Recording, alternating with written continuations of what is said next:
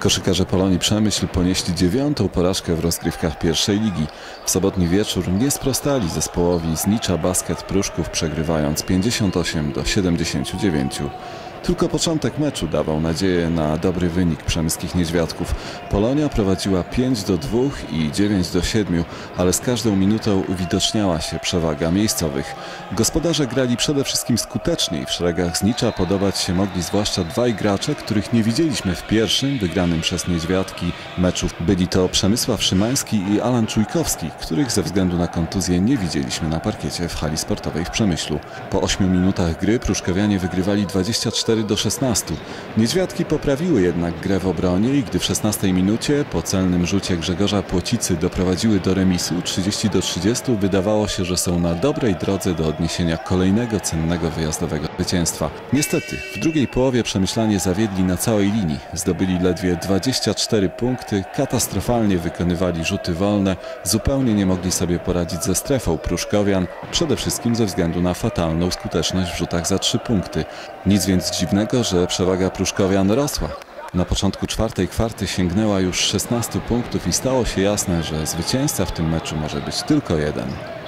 Pojedynki przemysko-pruszkowskie mają bardzo długą historię. Niestety, w tym meczu tradycji stało się zadość. Polonia ostatni raz wygrała na parkiecie rywala 14 lat temu. Zapytaliśmy więc o pomeczowy komentarz zawodnika, który pamięta jeszcze czasy rywalizacji w Ekstraklasie, Dominika Czubka.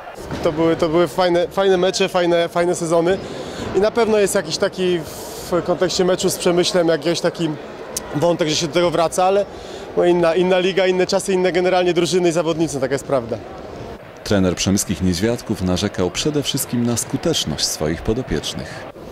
Tak, no styl to szczególnie mówię, może nie pierwsza połowa na takim dość przyzwoitym poziomie, bo osiągnęliśmy około 50% z gry, natomiast no, druga połowa to był koszmar, nie? szczególnie czwarta kwarta.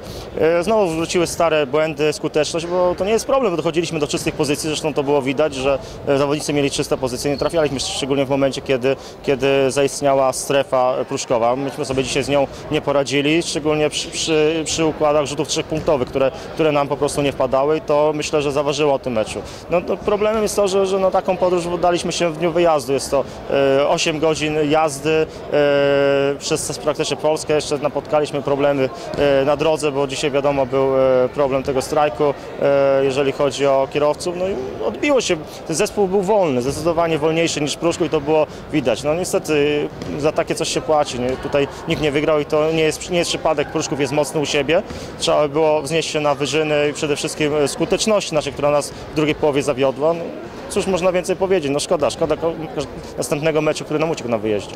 Koszykarze Polonii Przemyśl przegrali ważny mecz ze Zniczem Pruszków, ale już wkrótce będzie okazja do rehabilitacji. W najbliższą niedzielę Niedźwiadki grają na własnym parkiecie z polskim cukrem Siden Toruń. To zespół, z którym Polonia przegrała baraże o awans do pierwszej ligi. Będzie więc szansa na rewanż. Zapraszamy do Przemyskiej Hali Sportowej.